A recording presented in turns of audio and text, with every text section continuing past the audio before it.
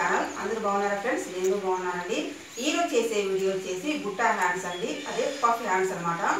ఆ puff hands మనం cutting and stitching ఏ విధంగా చేసుకోవాలో ఈ వాటి వీడియోలో చూపిస్తానండి. మీరు వచ్చేసి వీడియోను ఫస్ట్ నుంచి లాస్ట్ వరకు చూడండి. నీట్గా అర్థమవుతుంది అనమాట నేను చే- నేను వచ్చేసి ఇప్పుడు పఫ్ కోసం ఏ విధంగా తీసుకోవాలి కొలతలు అనేది హ్యాండ్స్ పొడవు ఏ విధంగా తీసుకోవాలి అంత క్లారిటీగా చూపిస్తానండి. మీకు వచ్చేసి నీట్గా అర్థమవుతుంది. వీడియో అంతా చూసిన తర్వాత లైక్ చేయడం మర్చిపోకండి. అలాగనే బ్లాగ్ ఛానల్ కూడా ఇంకెవరైనా సబ్స్క్రైబ్ చేసుకోకుండా సబ్స్క్రైబ్ చేసుకోండి ఫ్రెండ్స్. నేను వచ్చేసి డిస్క్రిప్షన్లో లింక్ ఇస్తాను సబ్స్క్రైబ్ చేసుకోండి. ఇంకా ఆలస్యం లేకోకుండా ఈ వీడియోను స్టార్ట్ చేద్దాం. ఓకే ఫ్రెండ్స్ ఇప్పుడు వచ్చేసి బుట్ట హ్యాండ్స్ కోసం ఫస్ట్ వచ్చేసి లైనింగ్ కట్ చేసుకుందామండి. లైనింగ్ వచ్చేసి ఆల్రెడీ టూ ఫోల్డింగ్స్ ఉందన్నమాట. ఇది వచ్చేసి ఇప్పుడు ఫోర్ ఫోల్డింగ్స్ వేసుకుందాము. ఈ విధంగా ఫోర్ ఫోల్డింగ్స్ వేసుకున్న తర్వాత మనం హ్యాండ్స్ పొడవు చూడాలండి.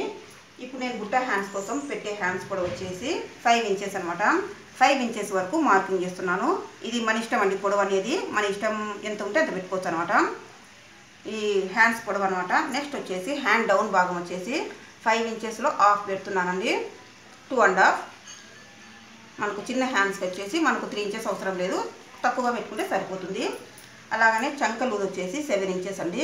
మనం నార్మల్ హ్యాండ్స్ ఏ విధంగా కట్ చేసుకుంటామో సేమ్ అదే విధంగానే కట్ చేసుకోవచ్చు. చాలా ఈజీ మెథడ్లో నేను ఇప్పుడు చూపిస్తాను మీకు. ఇది వచ్చేసి ఈ విధంగానే నార్మల్ హ్యాండ్స్కి అయితే ఇంకా సేమ్ ఇదే విధంగానే కట్ చేసుకుంటాం కదా. ఇప్పుడు కూడా సేమ్ అదే విధంగానే కట్ చేస్తున్నాను. ఈ విధంగా మనం మార్కింగ్ చేసుకుంటాం కదా నార్మల్ హ్యాండ్స్కు ఇక్కడ వచ్చేసి మనకు లూజ్ అనేది మన హ్యాండ్ లూజ్ ఎంత ఉంటుందో ఆ మీద మార్కింగ్ చేసుకోవచ్చు అనమాట హ్యాండ్ లూజ్ వచ్చేసి సిక్స్ ఇంచెస్ అనమాట సిక్స్ ఇంచెస్ వరకు మనకు ఇక్కడి వరకు కరెక్ట్గా ఉంటుంది. నెక్స్ట్ వచ్చేసి స్టిచ్చింగ్ కోసం. ఇది వచ్చేసి స్టిచ్చింగ్ కోసం ఉంటుంది కదా. ఈ విధంగా మార్కింగ్ చేసుకున్న తర్వాత బుట్టా కోసం వచ్చేసి ఒక టూ ఇంచెస్ ఎక్కువగా తీసుకోవాలండి. ప్రతి ఒక్కరికి అర్థమయ్యే విధంగా విధంగా సింపుల్గా మనం ఏ విధంగా కట్ చేసుకోవచ్చు? గుట్ట హ్యాండ్స్ ఏ విధంగా స్టిచ్ చేయొచ్చు అనేది ఇప్పుడు చూపిస్తాను. గుట్ట హ్యాండ్స్ కోసం టూ ఇంచెస్ తీసుకొని మనం ఇక్కడ వరకు కలిపేసేయాలండి. ఇది వచ్చేసి మనకు గుట్ట హ్యాండ్స్ కోసం ఒక టూ ఇంచెస్ ఎక్కువ తీసుకోవాలంటే ఇది పప్పు వస్తుంది ఇక్కడ. నెక్స్ట్ వచ్చేసి ఇక్కడ వచ్చేసి మనకు ఫోర్ ఇంచెస్ వరకు మార్కింగ్ చేసుకున్నామండి ఈ విధంగా మార్కింగ్ చేసుకున్న తర్వాత ఇక్కడ నుంచి మనం ఇక్కడ కలిపేద్దాము. నెక్స్ట్ వచ్చేసి మార్కింగ్ చేసిన విధంగా కట్ చేసుకుందాం.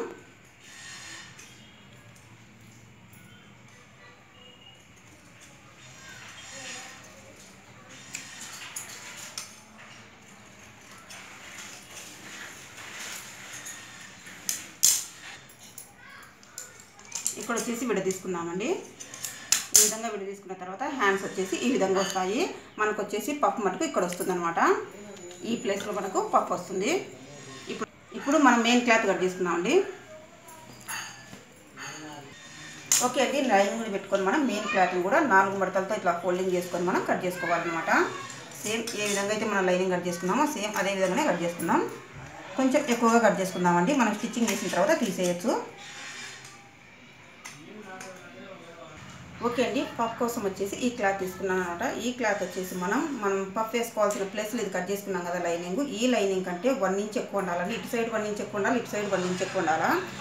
ఎందుకంటే స్టిచ్చింగ్లో కావాలి కాబట్టి ఎక్కువ ఉండాలన్నమాట. నెక్స్ట్ వచ్చేసి మనం దీనికంటే మనం త్రిబుల్ కానీ నాలుగు భాగాలు కానీ తీసుకోవాలండి. ఇది వచ్చేసి ఈ విధంగా తీసుకున్నప్పుడు మనం ఎక్కువగా తీసుకోవాలి. ఎందుకంటే పఫ్ కోసం మనకు ఎక్కువ క్లాత్ ఉండాలి కదా అందుకోసం. మనకు వచ్చేసి ఇట్లా ఏమేమి డబల్ ఇది వచ్చేసి త్రిబుల్ ఉందండి. ఈ క్లాత్ మనం ఇప్పుడు పఫ్ కోసం ఉపయోగించుకోవచ్చు.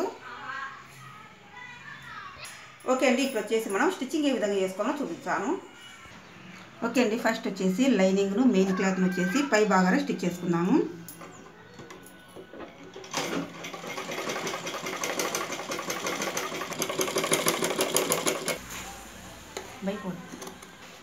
ఈ విధంగా తిప్పించేసుకున్నాక చుట్టూను వచ్చేసి లైనింగ్ జాయింట్ చేసుకుందాం.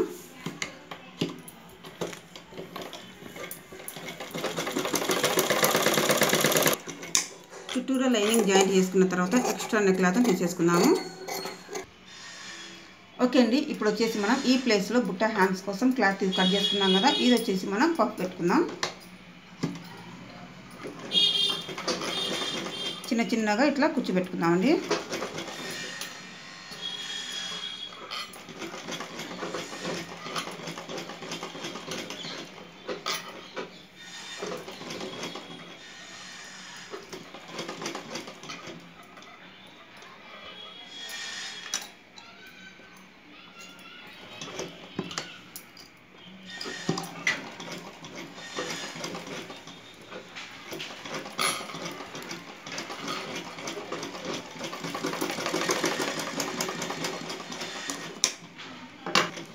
పైన అయితే ఏ విధంగా కూర్చోబెట్టుకున్నామో కింద కూడా సేమ్ అదే విధంగానే అవే ఫ్రిల్స్నే మనం ఫోల్డింగ్ చేస్తూ కుట్టుకోవాలండి. ఓకే అండి ఈ విధంగా ఫ్రిల్స్ పెట్టుకున్న తర్వాత మనం పఫ్ కోసం తీసుకున్న క్లాత్ను ఈ విధంగా మెజర్మెంట్ తీసుకొని మనం స్టిచ్ చేసుకోవాలి. ఒక హాఫ్ ఇంచ్ ఎక్కువగా స్టిచ్ చేసుకోవాలన్నమాట. ఎందుకంటే స్టిచ్చింగ్లో కావాలి కదా అందుకోసం.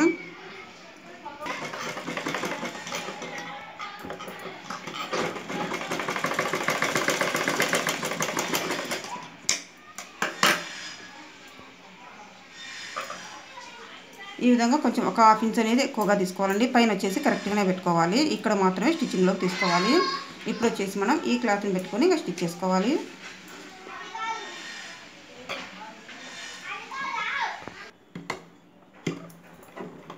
ఇది వచ్చేసి మనకు దీని కింద పెట్టుకొని ఈ బ్లౌజ్ కింద పెట్టుకొని స్టిచ్ చేసుకోవాలండి.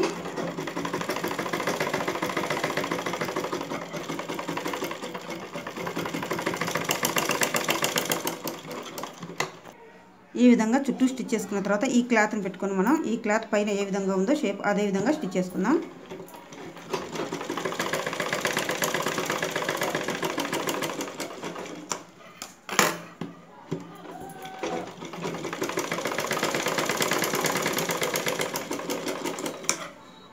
ఈ విధంగా స్టిచ్ చేసుకొని ఎక్కువ క్లాత్ తీసేసుకుందామండి. ఈ విధంగా పైన వచ్చేసి షేప్ అమ్మడి మనం కట్ చేసుకోవాలన్నమాట. మనం ఈ క్లాత్ పెట్టుకొని స్టిచ్ చేసుకున్న తర్వాత ఎక్కువ క్లాత్ని తీసేసుకోవాలండి. నెక్స్ట్ వచ్చేసి ఇక్కడ ఎక్కువ ఉంటుంది కదా ఈ క్లాత్ని కూడా మనం కట్ చేసేయాలి.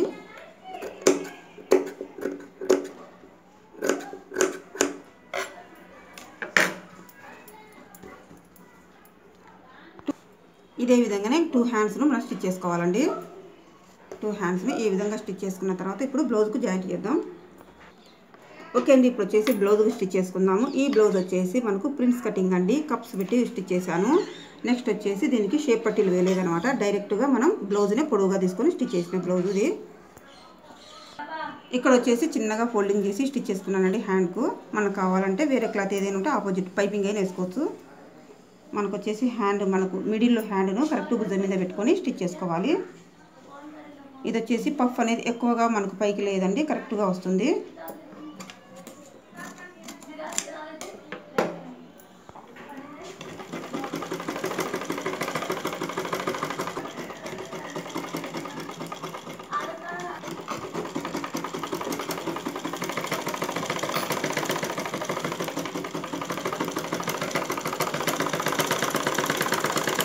ఓకే ఫ్రెండ్స్ సింపుల్గా పఫ్ ఇష్టపడే వాళ్ళు ఈ విధంగా స్టిచ్ చేసుకోవచ్చు అండి టూ టూ హ్యాండ్స్ను ఇదే విధంగా స్టిచ్ చేసుకోవాలండి. మనం వచ్చేసి ఆపోజిట్ క్లాత్ అయితే ఇంకా బాగా కనిపిస్తుంది అనమాట ఇది ఇది ఆపోజిట్ అయితే మనకి ఇంకా బాగా కనిపిస్తుంది.